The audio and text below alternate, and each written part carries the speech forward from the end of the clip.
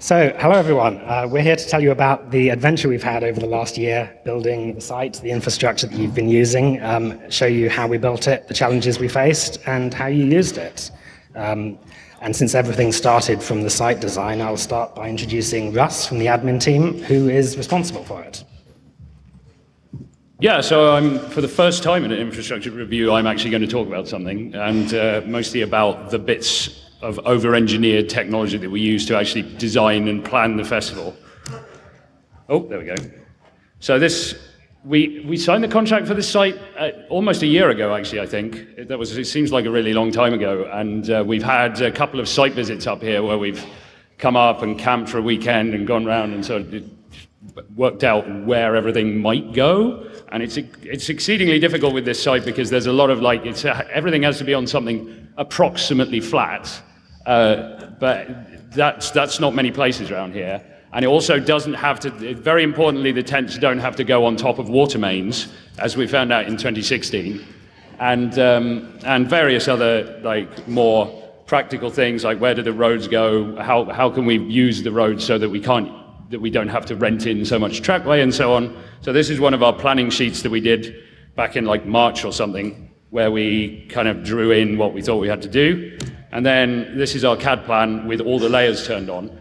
Um, so it has like the underground services and the power and the um, network and the lighting and ducts and pipes and all sorts, trees, stumps.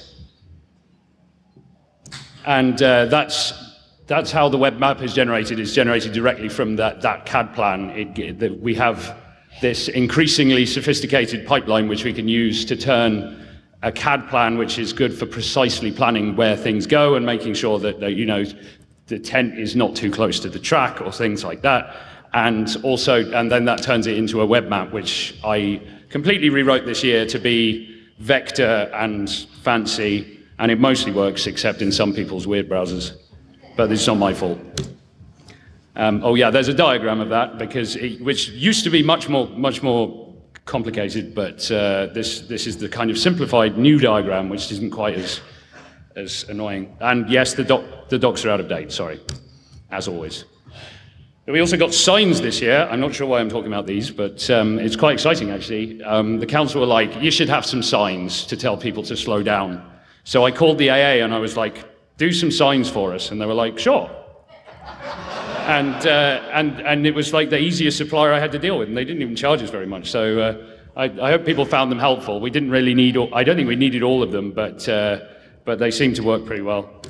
And uh, then the, the, the, day before we came on site, somebody delivered the bins, um, which was kind of them, but they put them where we were going to put our initial logistics area. So we then had to move about, I don't know, 10 tons worth of bins, probably not 10 tons. And then they came around a bit later with a bin washing machine, which was, uh, which was exciting. So it was exciting. But now I'm.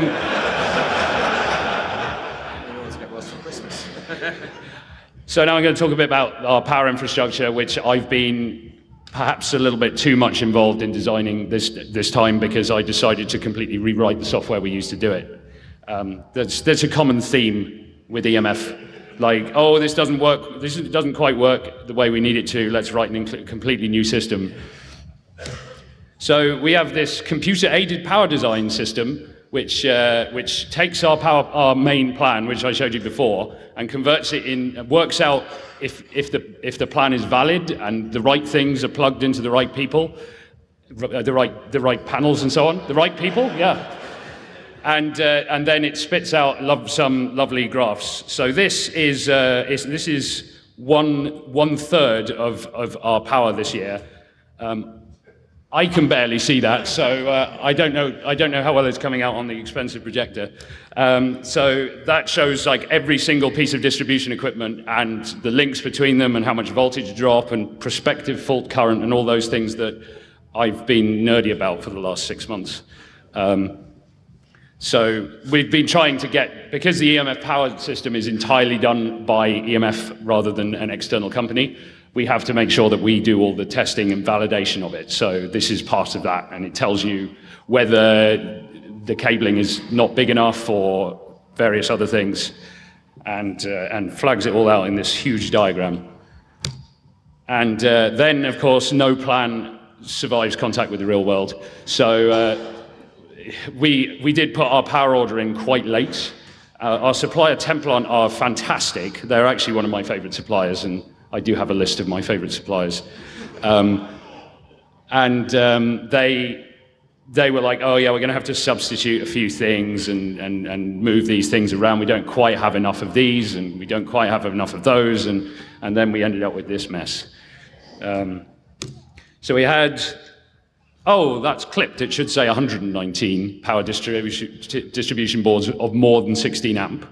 Um, five, more than 5,200 meters of power cable, three generators, two of which were 300 kVA and one was 200 kVA. So uh, that's 800 kVA or about 800 watts of power capacity, of which we had 130 kilowatts total peak load. Like we didn't need those big generators, and in fact we didn't order them. They were like, sorry, you'll just have to have these vast 300 kVA generators. Um, somebody went round just now and counted counted all of the people plugged in, and uh, and apparently there's more than 400. I didn't I didn't verify that number. So this is this is the main supply of one of the generators. That's the one up there, and we have these juicy 400 amp cables going, going away from those. And that, that's a container full of all the power distribution that we have, um, several tons of it. And we did a bit of aerial power rigging with some very heavy cable, which was, uh, yeah, it worked. It was a little bit wobbly. It didn't fall down, which is good. And uh, yeah, there's, there's, a, there's a small sample of the 400 connections plugged in and a fire extinguisher, because safety first.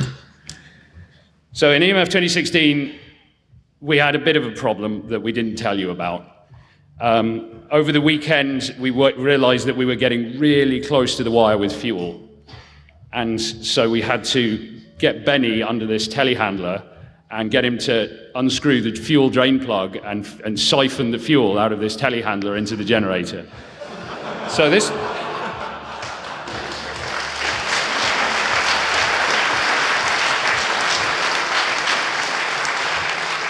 This time we didn't want to do that. Um, so we got, we got some bigger fuel tanks, uh, much bigger fuel tanks. And they all arrived and they dropped them off. And then they were like, oh, yeah, we've just gone and picked these up from another site and uh, they're all empty.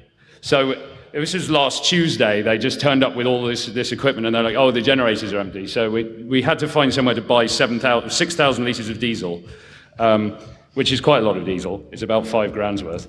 And um, they couldn't come until until Friday, actually, they came. And so we had to get uh, Templon to chuck us over another fuel tank to, to kind of make do. Um, that's, that's what an empty fuel tank looks like, in case you hadn't seen one before. Um, that's what an empty fuel tank in, generator internal fuel tank looks like on the, on the left. And uh, yeah, putting the lighting in was a bit of a challenge this time. It turns out this particular site is very, very hard. And uh, usually we put these bits of metal in called put logs, which hold the festoon poles up. We had way more festoon that we could have put up, but um, we could we didn't because we couldn't get these things into the ground, and we kept bending them, or it just didn't work, or the telehandler would tip over, or something like that. But we got, uh, I don't know if one kilometer is the amount of installed lighting, but uh, for the first time we used LEDs rather than incandescent bulbs, which saves a lot of power and it also makes lets you wire them into longer strings. So uh, that's why they all look cool white. We did a bit of site lighting finally, thankfully. Last, last, last year, I, or last uh, EMF, I volunteered myself to try and do some of this, but I was way too busy and we got a load of lights out and then some ArtNet problem happened and never worked. But now we have an actual site lighting team and they've been doing some pretty stuff and next time it will be even more pretty. That's a guarantee. Um, they're using these off-the-shelf Ethernet to Art, ArtNet to DMX nodes and a load of DMX cable and, uh, and a laptop. This, this presentation's been reordered since I last looked at it, which was eight minutes ago or something. Um, this somehow got found somewhere. I'm not sure what was going on there. Did they try and stick it in the socket? It was in the socket, I'm informed. So don't do that. like they're not compatible. and I'm, I'm going to leave, uh, leave you with David.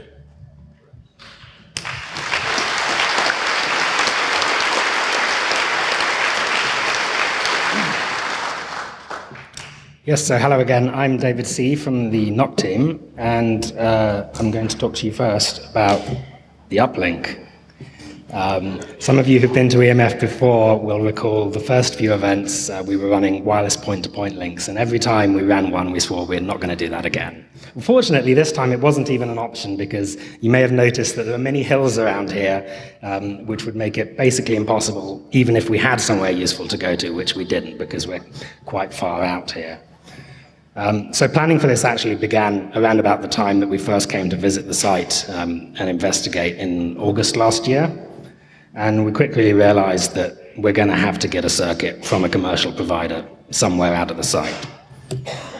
But what, what we wanted to do was make it really easy for the supplier to put it in. So we built a, a cabinet right by the road, ran ducting for them right to the road. So all they'd have to do was in theory, was connect up their duct to our duct, pull some fiber through with the rope that we, we provided. So we were here in January digging in some very hard ground, getting trenching in for the ducts to the road, power to the cabinet, and uh, some sheep were in the field. This field uh, was not actually a camping field at that time of year, so by popular request, someone keeps tweeting EMF webcam asking for sheep. Here are some sheep. Uh, the, and this is in fact a deer park. We saw deer in the adjacent fi- in the adjacent field as well. We were careful not to interfere with them. Um, so this is what we ended up with. Uh, this is how we left it, and uh, here's how it, we returned to it, full of covered in weeds. Later, well, a couple of weeks ago, uh, in good condition. Um, in the meantime, the provider had come, hooked up the duct, and Excuse me, uh, here's an example of uh, just outside that cabinet, in fact. Uh, you can see branching off to the left are two ducts uh, for circuit providers. One we used, one is uh, in reserve for uh, future use.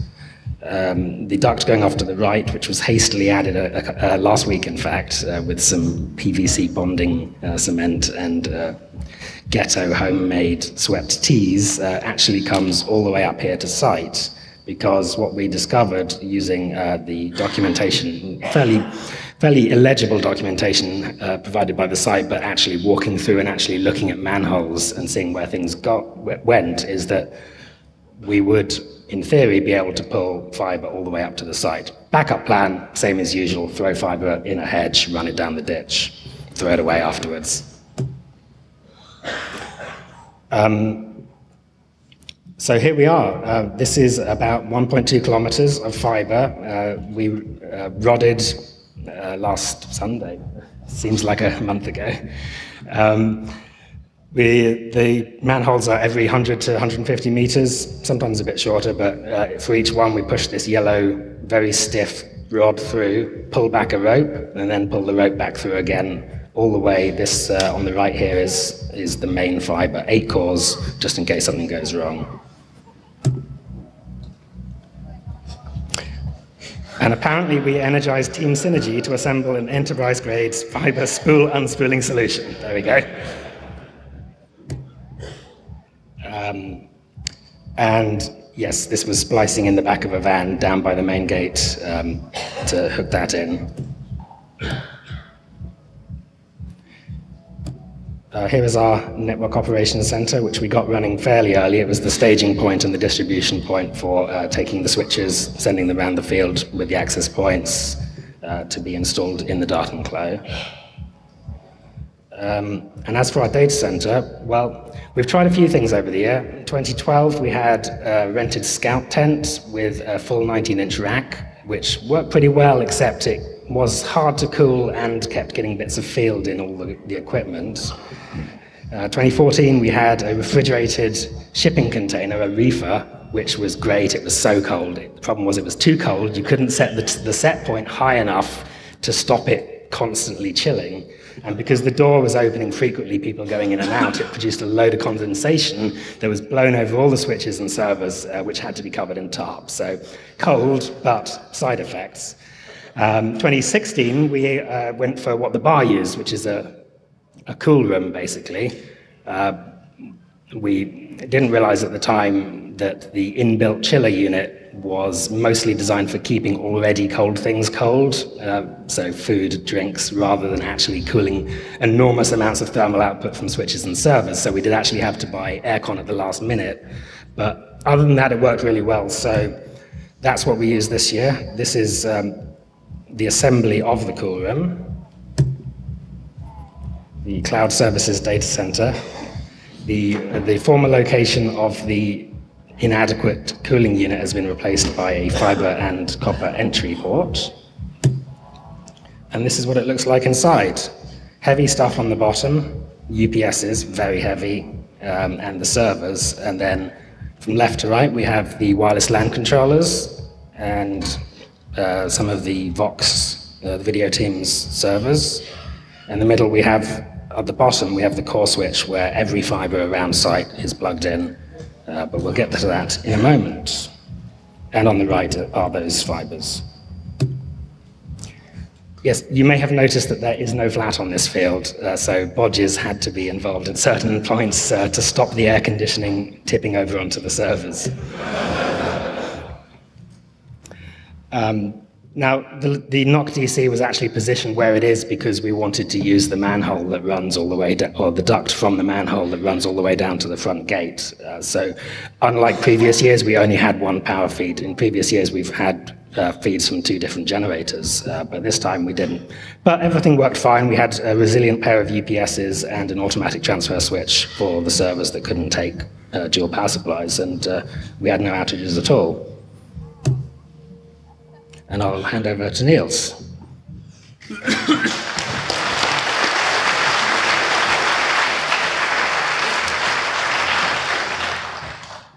Thank you. I'm Niels, and I'll talk a bit about uh, actual stuff out in the fields.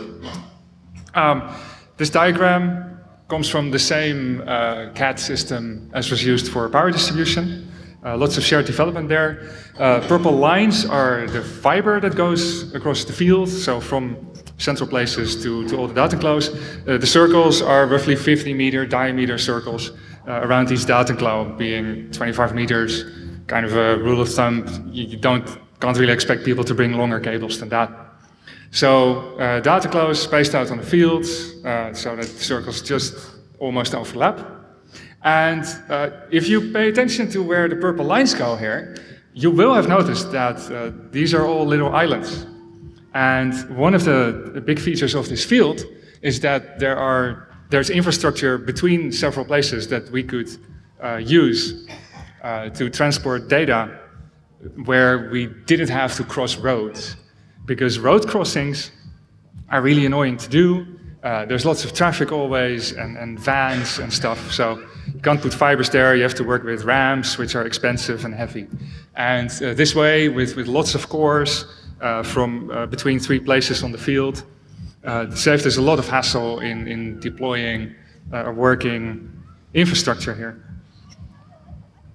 So this is the, the duct plan. There were three manholes, and uh, we, we had up to 12 cores between uh, different places.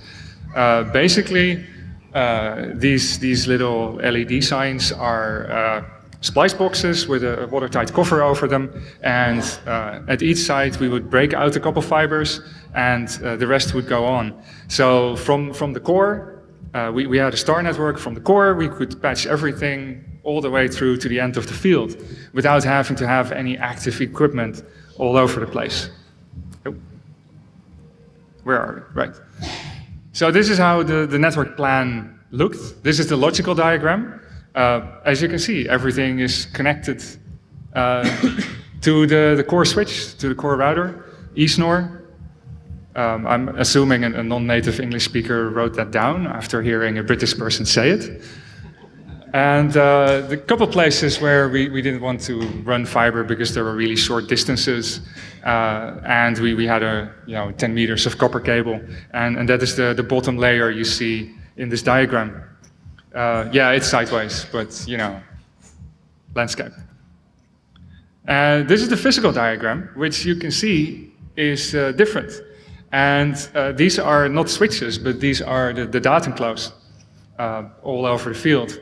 So, um, for example, you, you, can go from the left to the right in this diagram and, and follow the cable uh, from one Datenklo to another all across the field uh, with no active equipment in between except where it says copper. So again, this is coming from a single source of truth, which is really helpful when, uh, when yeah, troubleshooting problems and making sure that everybody knows what actually is the network design that is being rolled out, uh, what VLANs need to be where, uh, and just finding out what is where. This is one of those uh, splice boxes uh, that we had a couple of through the field. Uh, on, on the right side, you see the, the black uh, multi-core fibers, outdoor fibers uh, that run underneath the, the ground come in. Uh, then they're spliced onto pigtails in, in the, the, the white bit with the, laser warning. And uh, these end up on, on pigtails that are then put into connectors on the left. And all those cables go to the switches. Uh, the connector on the right is the uplink, connectors on the left all go to the field. Uh, there's two cables coming into this, and, and, we had two more of these out in the field. And uh, when the event is over, we roll up all the cabling inside and put the top over it again and put it back in the trench. And then, I don't know, maybe in two years, we can come back and we don't have to do all this splice work uh, that Dave showed all the photos from. The Datenklo, for, for people who's who was, for who this was the first EMF. Uh, originally, I think invented by the Germans, copying a concept from the Dutch. Uh, we lock them because we don't want people to mistake them for what they actually are, uh, normally. This, you can see there's power going into it, there's fire extinguisher next to it because it's a nice central place uh, where you can have them. Uh, the, the little wood tower on top has an access point uh, in a container box upside down. And on top of that is an ohm light, and you will have seen those display fire.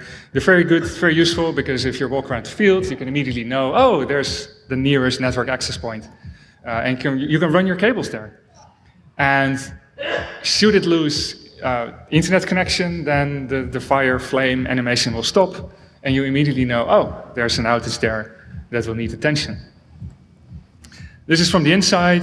Uh, cables coming in on the bottom, one going out to the access point and uh, to the ohm light. There's a switch in there, there's a the power distribution unit there.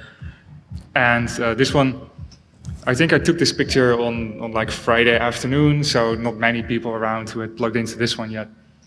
Uh, I don't think we ever ran into a situation this event where we needed to add a second switch because we had needed more than, uh, than 48 ports. So a couple of these ports are of course reserved for our own stuff, like the ohm light needs a connection, uh, the, the DECT phones need a connection, GSM, base stations, uh, and the access points. We had some power over Ethernet switches. Most of the access points were connected via PoE injectors. But this was a PoE switch, I think. Right, stuff that went wrong. One of the, the challenges is you, you start out and you build, you arrive on site and you build out this little temporary network just because, you know, we need to be online. And the orga is breathing down your neck going, can we check our email yet and everything? We need this for production. So you build something temporary and then as the event starts, you need to move from the temporary setup to the final setup. Uh, we had one little device in one of those cabinets uh, that we had built um, up, up the road uh, to serve as a, a, media converter, and then we had to take it out. And whenever we took it out, the, the normal equipment couldn't take over because uh, the traffic just wasn't accepted at the remote end. So this was a link that had three different suppliers involved, so we had to contact them all, have them all debug their little part of it, and then eventually it turned out there was uh, probably some display bug in the switch on the remote end in London that was dropping all the traffic without actually indicating that it was all the traffic. So this is why, in practice, for, for you to notice, uh, IPv6 took until, I think, the afternoon of day one uh, before IPv6 would work, because we needed uh, the new final equipment there. Uh, something else, We worked for like two hours on getting the switch online via copper uplink, and we changed everything and like the cabling, recrimped it, and, and then finally we are like, okay, uh, let's not use the, the copper SFPs. Uh, this particular switch has 10 gig ports, and we put one gig uh, pluggables in there, and normally that works. These, these are multi-rate slots. But after we took them out, you can see that the lights, the green lights on, on the bottom row that are lit up, are the link lights. So this switch currently thinks that these ports have a working link, which is obviously not the case, since the pluggables are lying on top of it. So yeah, two hours of uh, recrimping cables. Drawing in graphs is, is a hobby that certain people took up, where if, if you have a, a public graph, then you know it goes up and down as the day progresses. But if you have significantly more capacity available than you have usage, and uh, you have a place where you can send a lot of traffic from, you can create a nice spike. And it goes up, and then you stop sending traffic, it goes down. And it's all fine and dandy until you don't have much capacity available, and you DDoS the campsite that way. Which is what happened here. We only had a gigabit. It was enough for everything we did here, for all the traffic that the people did, uh, for all the streams to go out, and all that. But it this didn't really have much capacity to, to catch incoming DDoS attacks. So the NOC had to spend time and effort uh, contacting our upstreams, having, uh, identifying the source destination, uh, and we ended up having to take the public dashboard offline uh, from, from uh, being able to be accessed from the world because that was the target of the DDoS attack. And uh, the source was somewhere in a group in Germany who deal with open Wi-Fi network development, so to speak. So yeah, please don't do that. It is annoying and uh, it, it, inconveniences everybody on the, uh, on the on the site and creates work for a NOC. And finally, this, this wiring that you guys have here. Luckily, somebody brought stickers to notify us of the problem, uh, which were widely deployed, and uh, I think these were good safety measures. Uh, this isn't my first visit to the UK, and I know that you guys like warning signs and, and safety signage and everything. So the, the European Mainland Federation was, was glad to help out. Of course, Europe being Europe, we, we also propose a solution that uh, we, we will help you implement two years from now. Thank you very much.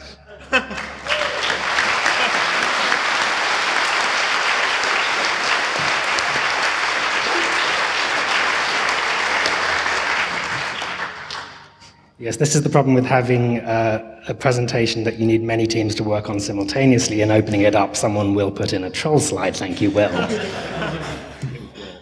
Ah, Wi-Fi. So I'll uh, hand over now to AK, who's going to talk about uh, the Wi-Fi distribution through the camp and some, give you some stats. So, um, Wi-Fi. Um, well, it's about um, putting up uh, lots of access points uh, I guess this slide didn't come in too well. Uh, okay. Ah, shit. Okay. So um, some of the photos are not uh, on here, where that are supposed to be on here. Um, but yeah, we put up a lot of access points, around um, around 70 of them. Um, on the left, you see a few of them when they're being staged when we were back in the Netherlands. Uh, on the left, you uh, see an access point mounted to a fence, um, and on the right, you see the access points we have mounted on all the um, uh, all the data. So that's actually an uh, indoor uh, access point that's mounted into a plastic box uh, that's used for waterproofing it. So that's a fairly cheap solution to um, use a cheaper indoor access point and um, making it waterproof. Uh, and uh, on the top here, you see also uh, the GSM antenna and uh, one of the ArtNet uh, ohm lights. And there was supposed to be another photo on the right, but we can't see that.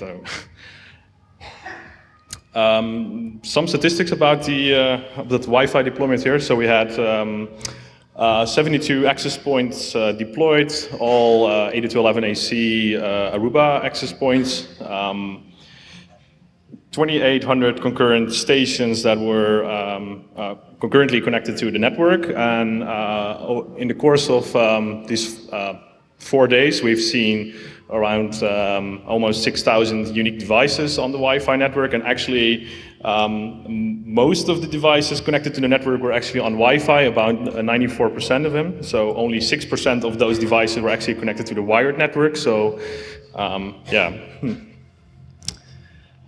Um, yeah, we also had a number of SSIDs. Um, um, well, most of them were encrypted and some of them were unencrypted, but almost 70% of you guys uh, use the encrypted network, so that's good. And um, 80% of the stations were on 5 gig. Um, I think the badges, they cannot do uh, 5 gigahertz, so that maybe they are taking down the percentage of, uh, of stations on 5 gigahertz. And um, of course, 5 gigahertz has way more capacity than 2.4 gigahertz. Um, we're also um, here in the UK, they, uh, the Ofcom opened up a little bit more spectrum, so uh, they added five more 5 gigahertz channels. So we were able to use uh, uh, 24 uh, 5 gig channels opposed to four uh, 20 megahertz channels on 2.4. So there's way more um, spectrum to play around with on 5 gig. So please use 5 gigahertz and yeah, maybe uh, 2.4 can maybe go away at some point, but. Uh, um, yeah, some more statistics in this slide. Um, uh, you guys were able uh, to actually uh, use a random username password uh, on the encrypted Wi-Fi, but uh, apparently not. Well, almost none of you um, actually uh, tried to do this. So um, it's EMF and Anonymous and um, some eduroam um, realms that are in this top 10. So um, not much exciting things going on. On the, uh, the different uh, operating systems uh, we've seen on the network, uh, Linux is uh, number one, so that's good. So. Uh, and for some reason, there's Windows 98 there. That cannot be right.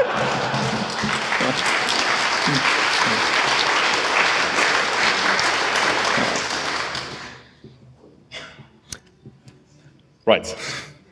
Uh, uh, we also collect a lot of more data about the Wi-Fi network. Like uh, we can look at how many clients are associated to the different access points spread across the site. Um, so one thing we can do is we can look at how many clients are in a certain room. So we can um, use this data to see which um, presentations are popular. So we, we can see that apparently the most popular talks were uh, banned from encrypting and the making of the TiLDA MK4. Uh, and also, yeah, hackers was very popular yesterday, so it was good. And Sidebar was also crowded yesterday. Ah, very nice. And, and Milliways was also popular yesterday, so something with WikiLeaks, I guess. Um, so that was it for Wi-Fi. Uh, we have some other statistics. Um, yeah, so we have this one gig uplink, and we uh, yeah it was uh, saturated. So um, because thanks for that. Yeah, so next year we have to have more bandwidth. So or next two years we got to go for 10 gig or something. Yes. Um, yeah, this is the. So we see a couple of peaks there, but that might have not been genuine traffic. But yeah, we'll we'll we'll get more, I guess, next year. Um, yeah, so temperatures. Um, yeah, it was uh, uh, last night. It was pretty okay uh, during the night, but uh, the night before that, it was very, very, very cold. So you can actually see uh, about a, uh, I think it's a 20 degree difference with during the the day and during the night. So uh, if you're looking at the temperatures of all the switches we have on site, so I think, yeah, it's yeah probably 20 degrees difference uh, between day and night. So that was hmm, pretty cold. Um, I think that's it for statistics. So uh, we're gonna move on to video. Yeah. Okay.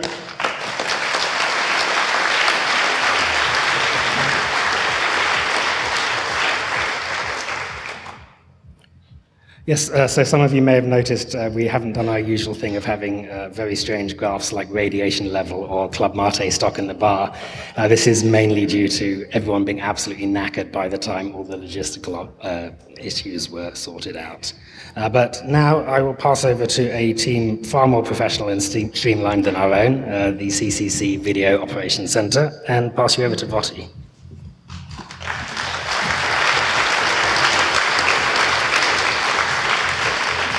So, hi everybody, I'm Votti from the CC Rock, which is the video team of the CCC from Germany. Uh, let's start with a few statistics of our live streams. So, we had around 100 viewers at the peaks, uh, up to 120. Uh, most of the people were watching uh, MPEG Dash live streams, which is like an adaptive live stream technology. And uh, Apple devices mostly use HLS, and some legacy devices watch the Icecast streams. Those are statistics from our ticket tracker. So overall, we recorded 117 events. Uh, 26 events were not recorded. Those were either uh, speakers that didn't want to be recorded or music and movie events that aren't being, being recorded. And overall, that's almost 62 hours of uh, video being recorded by us. And most of the stuff is already online uh, and you can watch it.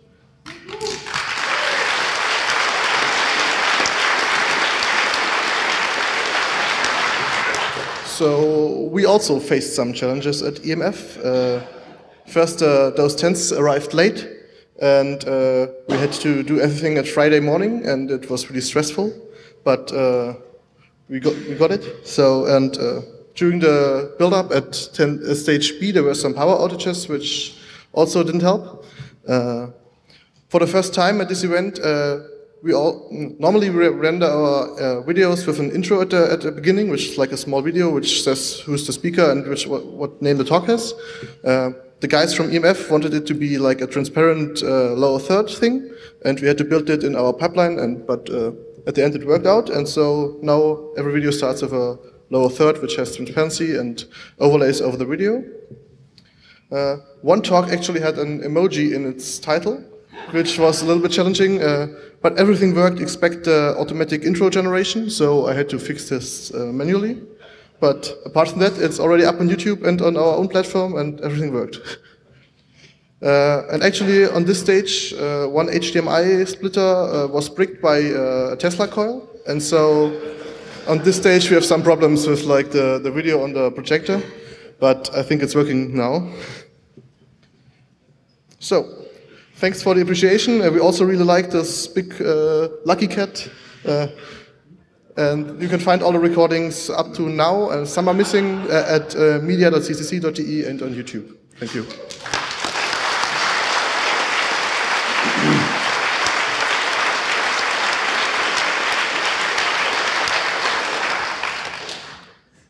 Uh, so many of you will already know for the first time at EMF we have a DECT network that has been very well received. Uh, this was put together by uh, the Eventphone team who are testing out their new system here. Unfortunately, uh, they have had to leave early. They've kindly left their equipment in our care. Um, but Sam will be talking on their behalf, and he's also going to talk about the GSM network that he built. Thank you.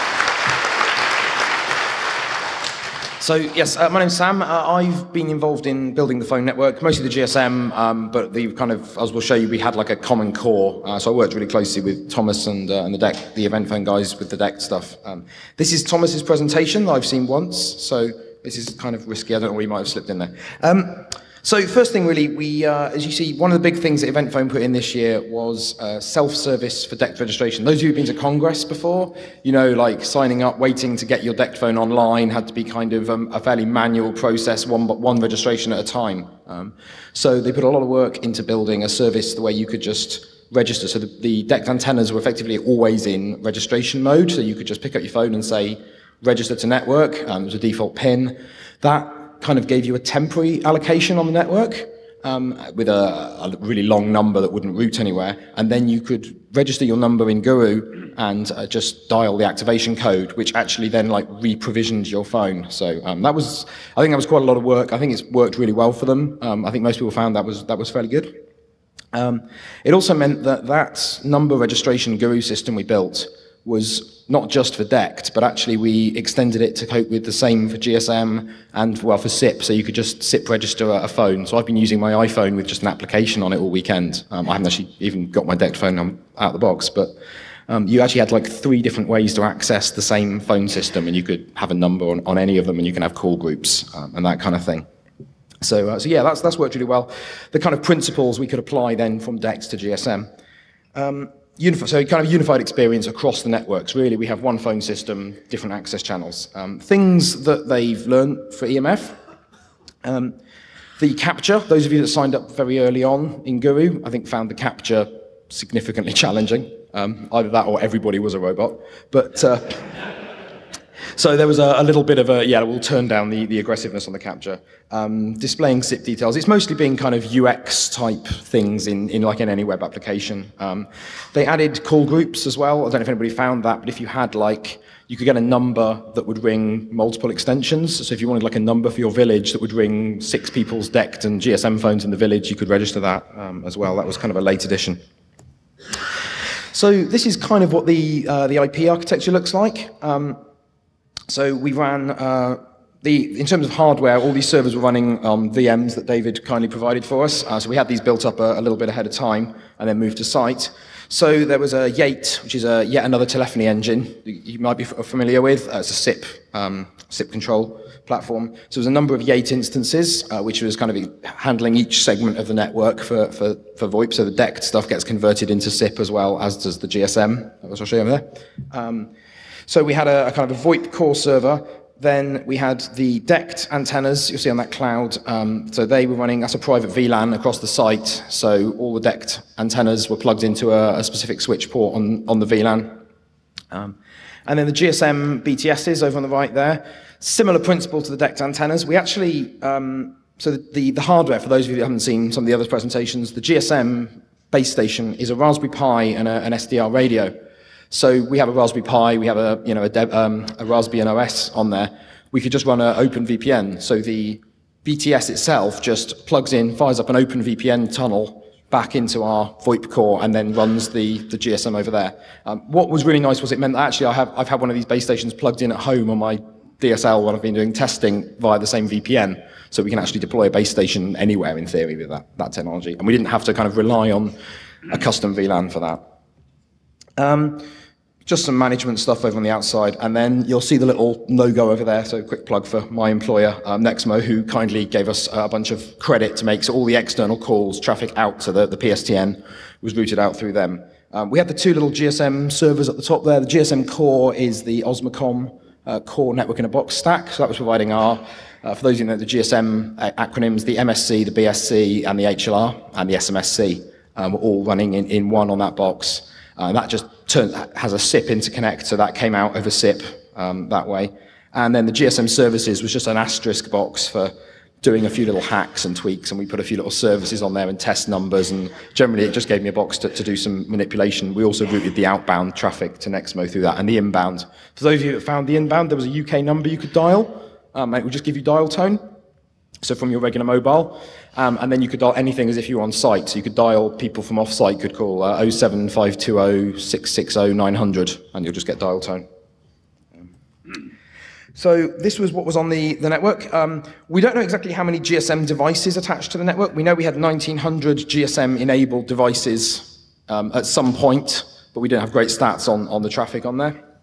Um, that could have been literally just one location update or phones attempting to location update, so people's phones that may have tried to register and been barred or something like that. Um, 277 DECT phones, uh, 70 SIP extensions, and 33 people signed up for a personal SIP number, a personal GSM number. So with the SIMs we gave you in the badges, we used a similar thing to DECT, but actually you find they all had a number, which was that four, one, two, three, four number. Um, you could you keep that number and just use it, which is what people that got their GSM working did. Um, but equally, you could have like reassigned it yourself to a personal number as well. Uh, so the active calls going out to the uh, to the real world. Um, we had this little problem, as you can see here on. Uh, I think it was well started at just after 4 a.m. on Friday morning. Is that? Um, through till sometime 12 o'clock. Um, basically, somebody hooked up one of their SIP extensions to their SIP server rather than to a phone, and their SIP server wasn't a particularly well protected server. So somebody out on the internet, um, anybody that's ever put a, ser- a, SIP server on the internet will know it takes about 20 minutes before somebody starts trying to poke you with call attempts. They poked their server, they found, oh look, it can make outbound calls via our server, and that burnt through about a thousand euros of credit calling Serbia. Um, so uh, I had to have an awkward conversation with my boss then on uh, Saturday morning, going, that thousand euros of credit you gave me for EMF, um, I've kind of lost it. uh, can I have some more, please? But fortunately, he did. Um, I just checked the balance, and actually, since we locked that connection down, and we, we put a few limits, we blocked SIP for outbound calls, but from DECT and GSM, we've actually only used 60 euros of credit. Um, of, of, legitimate calls, so uh, outbound and inbound. So yeah, that was definitely some fraud there. Um, we did only allow UK, Europe, and US prefixes anyway, which should have generally blocked out the obvious fraud definite destinations. I kind of missed maybe Serbia. Um, that will go in my banned list for next time. Um, this is one uh, quite interesting little thing from the DECT network. So the DECT base stations all need to synchronize with each other because it's a time division multiple access system. So all the base stations need to be on a synchronized clock. Um, we don't have this on GSM, which is why we don't have handover right now. What the DECT system can do is they synchronize over RF links between them. So all these lines are, you'll see the spots are where all the DECT antennas are. So you can even see the one right down at the gate. So there's one in the DK at the gate there. And they actually discover each other. And even a red link is a low quality, um, red, yellow, green quality links, but these would all keep them in synchronization. So they're synchronizing over the DECT RF band with their, uh, with their channels. Um, couple of plugs. Uh, the challenge for Eventphone is they're trying to get more followers on Twitter and YouTube, so they're clearly trying to break into social media. Um, uh, very quickly, the GSM stuff. Um, challenges we had, the time frame, getting it all built, really, I was being pushed. Um, you know, we were right up against it, and we were reliant on so many other bits of infrastructure, so, so we got pushed out there. Deploying the BTSs in the real world, um, we all this stuff worked really well on, in the test in the lab when Lime SDR built the boxes, and I've had stuff running on my desk at home for weeks. Um, turns out when you start sticking it on a wooden pole in a field, some of the environmental things. So uh, Thursday night, I think it was, was furiously spent soldering additional five volt power lines, Raspberry Pis, USB power. Anybody that's been there will will know that. Um, and yeah, man manpower, womanpower. Um, I really kind of ended up doing nearly all, most of the GSM stuff myself with a bit of help from Thomas. Um, a big shout to uh, Yaga, if she's here, who helped um, putting up the base stations on Thursday and then went around and took them all down when I said, actually, what I thought was a software problem is a hardware problem and I need to solder some wires into them. So can you go and get them all down again and bring them back, please? And then put them all back up again. Um, again, so yeah, she, uh, she deserves excellent work. Yeah, so we can see uh, we can see where the GSM was busy. Surprise, surprise, not many people are making GSM calls at four in the morning, um, but you know there's a, a traffic distribution graph there. Thank you, David.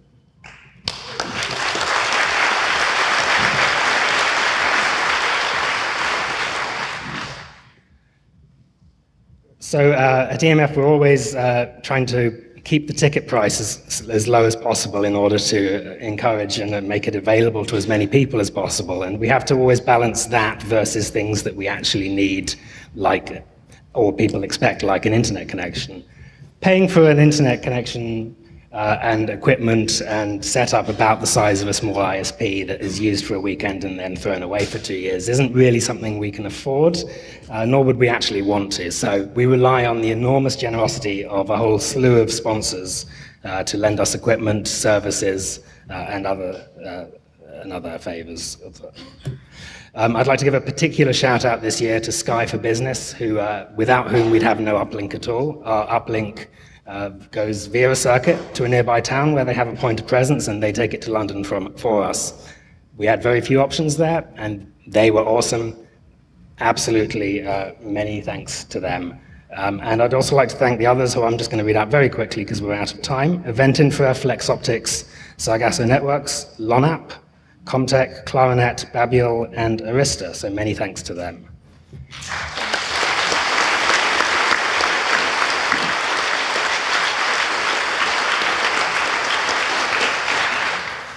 I also want to thank the volunteers who pop by from time to time offering to run around the, the Datenklo to plug people in. Uh, we need your help again to unplug them.